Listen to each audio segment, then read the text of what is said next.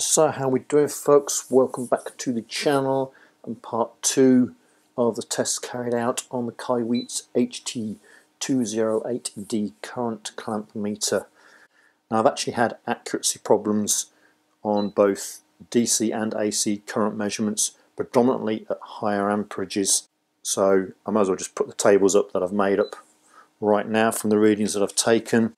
So you can see in this first table this is the usual measurements that I'll make on a current clamp and they're extended out to the maximum range that the instrument can read which in this case is 1000 amps with the Kaiweets. AC and DC are both same tolerance for standard measurements which is 2.5% plus 8 digits and you can see that for the first three readings they're okay. The next reading it's 10 amps um, it starts to lose its accuracy there and then from there on in they are actually all out of specification to what the manufacturer has given me. What's also interesting is that below 60 amps the readings tended to be lower than the specification and above 60 amps the readings tend to be higher than the specification allowed.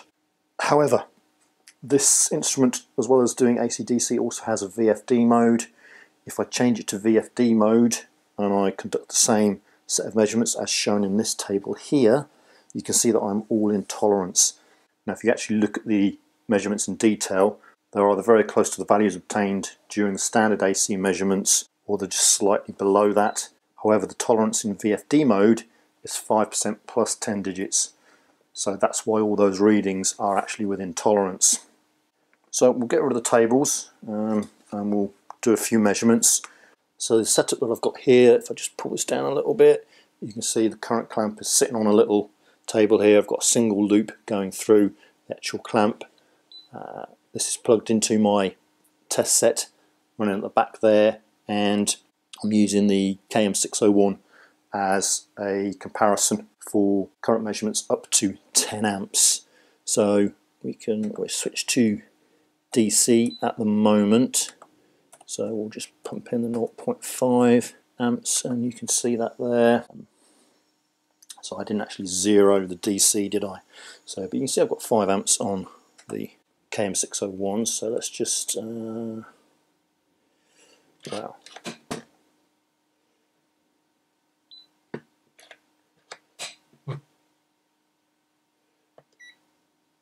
So that's zeroed that now. Go again.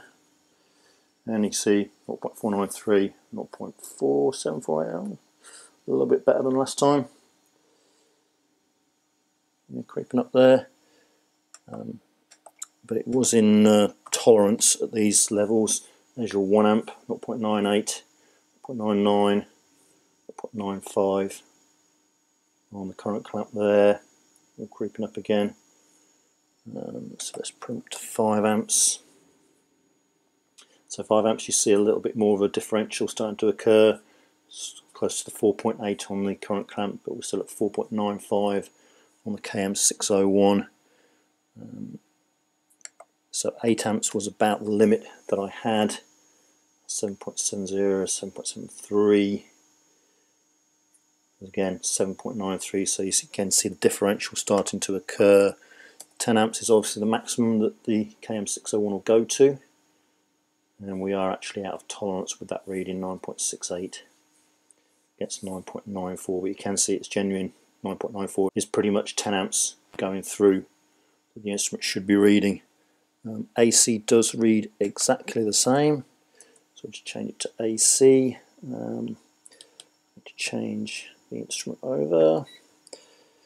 There's AC there, similar sort of reading, uh, although you see this is also a little bit more slightly out of tolerance reading as well in uh, in comparison to the DC measurements that it's made, which is not unusual. Instruments generally struggle to measure AC uh, more than they do measuring DC.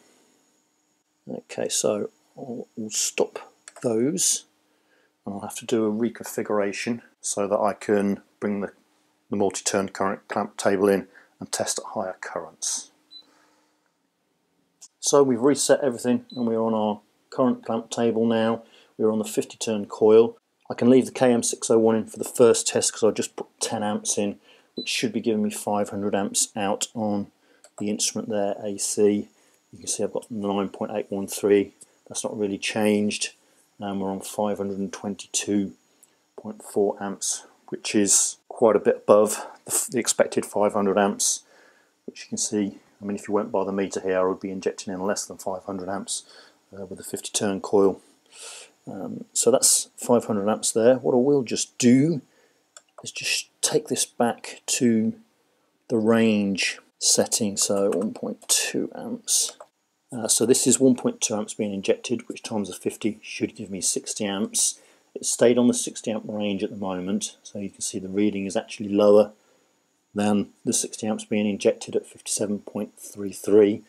Um, if I just put it up a little bit more and take it over, so we've now switched range, sticking in 1.5 amps, which should give you the 75 amps. So not too bad with that reading. And what I will just do is go back to the 1.2 amps, which would be 60 amps. And you can see it stayed in the 600 amp range, and now I'm reading 62.3, whereas injecting going upwards, I got a different value and got 57 amps. So the meter seems to mess around a little bit at the point where it changes the range. Um, so what I'll just have to do now is stop this and just take the KM601 out of circuit purely and simply because I'll go above 10 amps and that's going to create me problems. So we're now just wired direct through the coil. I can't do anything now with regard to a check function because I'm going to be going over 10 amps uh, and reading this. Let's go back to the 10 amps in actual fact. And then we're back to our 500 amps there. So 10 amps being injected, 522 amps on the meter. Okay, so we'll go straight up to 1000 amps. Just change it on AC. And you can see there that it goes over range. Um, it won't read it. Um, just to show what's going on here, I can just put this uh, little Hioki instrument in there, which also can read 1000 amps AC. Uh, although I don't know whether you can see that. There's no light on this, unfortunately. So it's 1003 amps that it's come out with there. I also have for a cheapo one, got this Infurider one. Uh, you can see that one, hopefully 100, uh, 1007 amps on that one. There's a comparison. Uh, so it does move about a little bit, uh, but not too bad. And finally I've got this RS Pro unit, again 1007 amps. I'm not sure whether you can see that on that, so let's uh, hold him again just show you there 1007 amps. Um, so yeah, do struggle with this one. Um, I can take it back down to 19 amps and we are on it should be 950 amps. Um, and again, you can see that there's 989. It's pretty much out of the 2.5% spec. If I stick the Infurider back in, 958, 959, a little bit high, but much tighter tolerance than the Kaiweets is showing me. Um, so yeah, uh, let's just turn him off and put him back in. Um, I'll also just put this table up. This is a comparison of different current clamps I've got and the actual accuracy they offer in AC DC. Um, you can see that the accuracy offered on the Kaiweets HT208D uh, is fairly mediocre. Um, at 2.5% it's quoting a, a, better accuracy than some of the other instruments I've got, certainly against the Infurider that you've seen there, which actually does give a much better reading. Um, in contrast, it's also not the most accurate current clamp that I've got available to me. So you would expect if a manufacturer is specking at 2.5%, they really should be able to meet it because there are manufacturers out there that can meet a bit better accuracy specification than the Kaiweets instrument has. Okay, moving on to inrush current measurement. I'm just going to pull this page up from the manual and show you this because um, I do have to commend Kaiweets for this. This is the first time I've seen a really good explanation of how a current clamp or how their current clamp is actually measuring the inrush function. You can see here they've done a little uh, plot there and it's shown you that that inrush magnitude is the differential between the steady state current and the peak current. So I've got this set up for 100 milliseconds. Uh, if I just measure the 5 amps, so it should be around about 250 amps uh, and then dropping.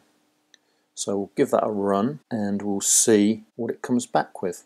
To get into inrush, we're on AC, so we VFD mode and then we hit inrush there.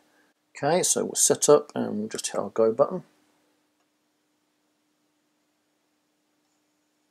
So that's 258 amps. So, so for a 250 amp inrush, and it's showing me 258, we know it reads a little bit high anyway. Uh, so that's all pretty good. I'll just change this. It's got 7 amps, so that should give me a higher one. Uh, just curious, I don't know what happens, whether you have to reset this after an initial measurement. So we'll go again.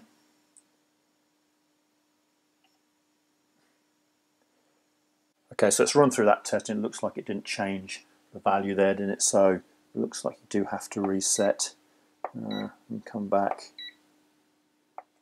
and go to inrush again and then we'll run it again and we should get a higher reading this time round which should be uh, 350ish amps and above 364 amps which again we know will be a little bit high so yeah so unlike the FLIR instrument that I tested last time round um, this one you do have to reset this with every inrush measurement that you make.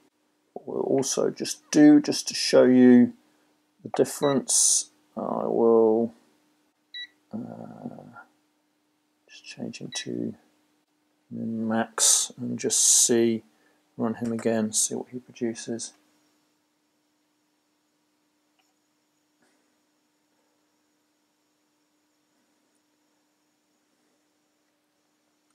Okay, so what you see there is a differential between taking a min-max measurement and the inrush measurement.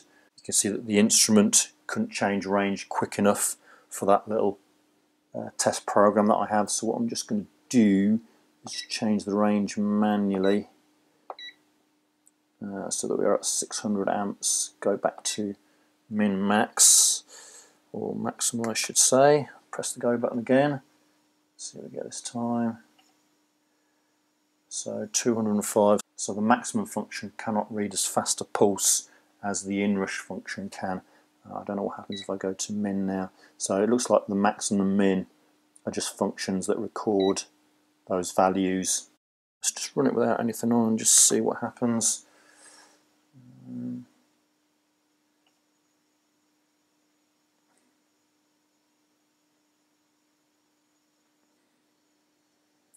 So we've finished our little program. Let's just go through max. It didn't record anything. Min, it didn't record anything. Okay, so you you have to have it set to max. It only record the maximum value, um, or you set it to min to record the minimum value um, during a fluctuating signal, I guess. But min-max function is nowhere near as quick as the inrush function. So hopefully that little demo shows you the differential between the two. So yeah, uh, that's it for this video. Um, just a little more in-depth look at the current function on the Kaiweets current clamp there.